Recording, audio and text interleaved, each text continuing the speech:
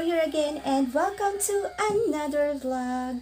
And for today's video guys, we're going to have another unboxing. So ayun po guys, meron tayong unboxing today. And binili ito ni Habi. Talagang ibinulong yun, guys, binili ito ni Habi. Hindi ko to binili kasi alam niyo na, si Habi lang naman ang bumibili. Madalas eh, wala tayong anda, alam niyo na. So si Habibi, ang aking very supportive husband, yan. Kahit na hindi pa ako kumikita sa YouTube, hindi pa ako sumasahod, ay sinusuportahan pa rin niya ako. Kahit puro pagastos ako, sinusuportahan pa rin niya yung mga kailangan ko sa vlog. And today, i-unbox natin yung binili niyang ring light para sa ating vlog. Yes, bumili si Habibi ng ring light. Actually, hindi niya binili, pinabili ko. hindi niya binili, hindi siya nagkusa. Ako nagpabili sa kanya ng ring light na to.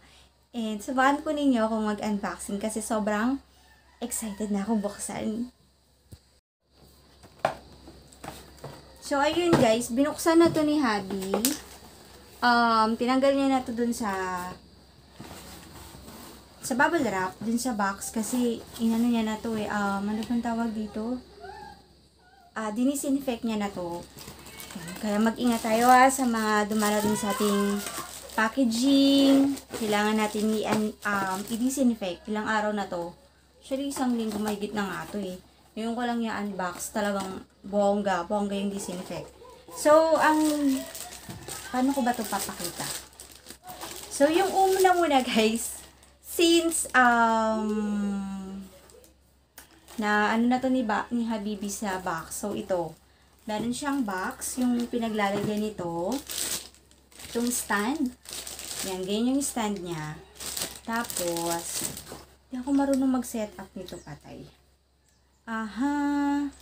So, parang, saan na ba yung manual nito? So, ayan guys, yung kanyang itsura. Yung una, yan. Tapos, ang init, grabe. And then, yung pangalawa, itong ring light. Pink, black, white. Made in China. So, yan. And yan, guys. Sana natin yung box. Excited rin akong gamitin ito. Ah, grabe ang pawis ko. Sorry na. Tapos, so, ayan yung itsura niya, guys. Check lang tayo. Yan. So, meron na siyang um, yan. Yung sa cellphone, di ba? Bongga! Alam niyo yung ano ko, DIY ring light ko. Mag-goodbye na ako sa kanya kasi nga meron na. Pero syempre, magpapaalam tayo na maayos sa kanya kasi marami kami pinagsamahan noon. Papaalam tayo na maayos sa DIY ring light natin. So, ayan. Tapos, ito, ah, alam ko na. To, yung mga sa cellphone, nasaksakan, yan, pwede nyo yung isaksak doon. Wala siyang separate talaga yung saksakan. Yung adapter. So, ayan. Tapos, ayan. Diyan yung isasaksak. So, itatry natin to in a while. Tapos, paano ko ba to isi-set up? A few moments later.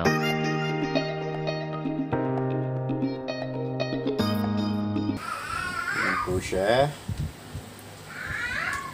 Yan guys, yung kanina ko sa inyo pinakita. Hindi ko lang alam kung paano i-set up. I-stand na natin siya, ha?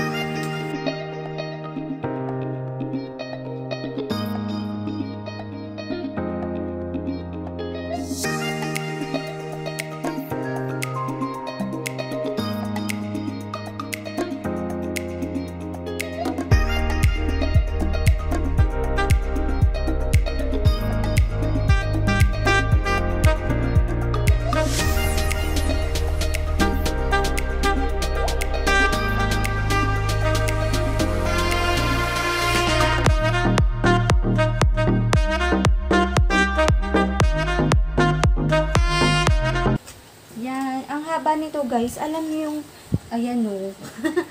ayan o, abangan sa yung haba niya. O, diba? Nakatayo ako. Yan. Ganun, diba? O. Diba? O, nakatayo na ako. O. O, diba? Aba niya, diba? Kakatuwa.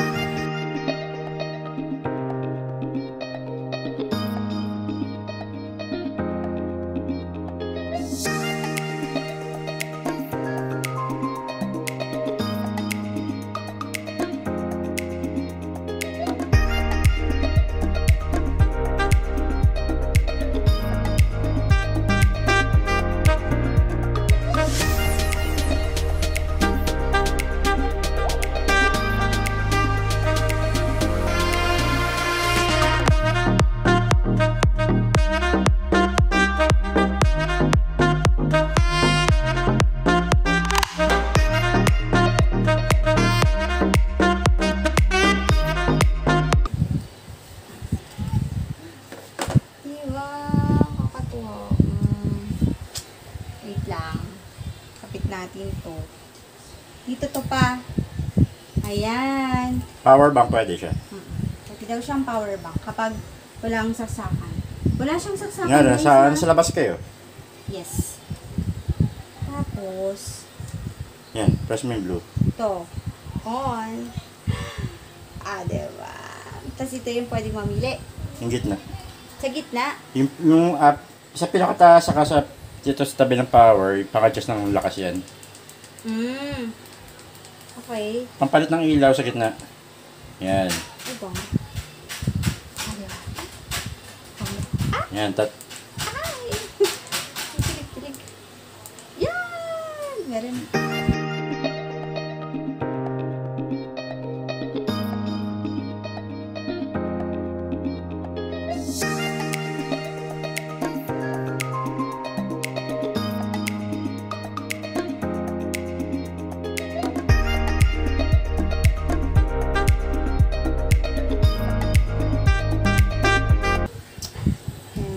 Adjust nyo na lang to Pa- para sumentro yung cellphone yung hindi nako-cover yung ano, ilaw. Mm. Parang ganyan, no? Ito naman. May nag-explain bata. Yan yung kamay niya natutulog. So, that's it for today unboxing, guys. Sana, med, sana napakita talaga namin yung tamang... Madali lang naman siya, guys, yung pinakita ni Papa. Sobrang dali lang. Nandito lang naman yung mga adjustan. And as you see, mataas talaga siya sa akin. Alam niyo na. Nagpipiling matangkad. Natutuwa lang talaga ako. So far, ito yung pinaka nakita naming um, affordable price ng ring light sa balatang Shopee. De, ac- actually, siya yung pinaka-affordable ah, ring light na nakita ko. So, ito. Ito yung kanyang itsura. Yan. Kakatuwa lang. So, yun again guys. So far, siya yung pinaka nakita naming um, affordable price ng ring light sa Shopee. Naghanap kasi kami ni Habi ng ano, ng price niya talaga and so far, siya yung pinakamura.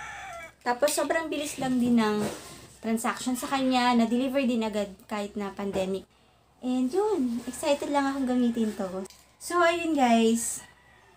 Ang ating ah, today's unboxing. Sana po nakatulong po ang aking video para po sa mga um, new vlogger na naghahanap ng affordable na ring light. Ito guys, sobrang mura na nito. Yung mga panahon na nag-start ako, sobrang mahal ng ring light. Sobrang tagal ko na sa YouTube guys. Mahigit tatlong taon na ako. And yung mga panahon na yun, nagdi-DIY ring light lang kami kasi sobrang mahal talaga ng ring light. And ito sa price niya na 500 plus, kasama na yung shipping fee, sobrang mura niya.